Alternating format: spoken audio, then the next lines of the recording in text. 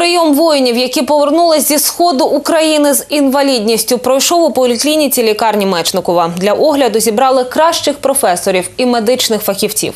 Вони проконсультували близько 30 солдатів. Як пройшов спеціальний прийом, розкаже Віталій Гірняк. Богдан військовий другого окремого танкового батальйону. Травму він отримав під час виконання бойового завдання. Лікування вже пройшов у військовому госпіталі Дніпропетровська. Сьогодні прийшов у Мечникова за консультацією отоларинголога. У меня был открытый перелом носа со смещением, гематома головы. Э, Ну, обратился к лору.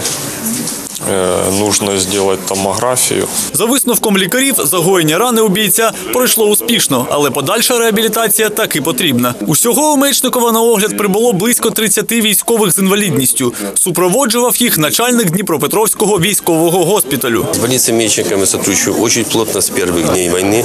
Практически все и наши специалисты, и их специалисты обмениваются и теми вопросами, и тем опытом, который получают во время проведения э, тех или иных лечебных мероприятий.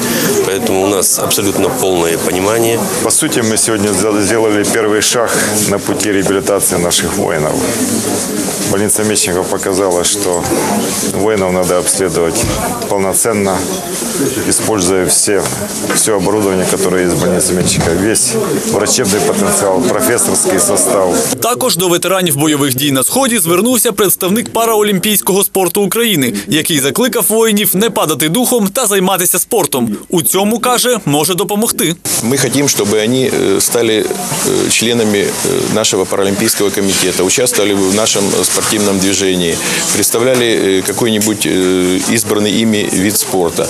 А мы уже как профессионалы э, готовы помочь им в этом. Такі прийоми стануть традицією у Мечникова, обіцяють медики. Адже кажуть, сьогодні солдатам потрібне не лише лікування, а й реабілітація. Віталій Гирняк, Сергій Кочет. Деталі.